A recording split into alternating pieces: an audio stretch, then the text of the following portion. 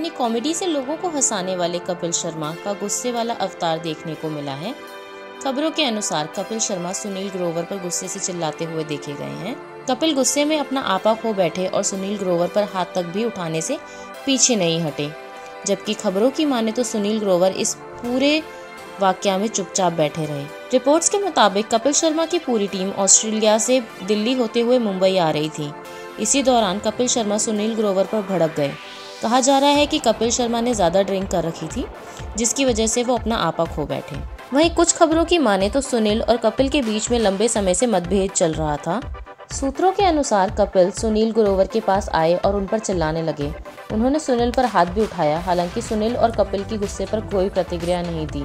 कपिल ने गुस्से में सुनील पर चिल्लाते हुए कहा, तू है कौन? तेरा शो फ्लॉप हो गया। तू मेरा नौकर है।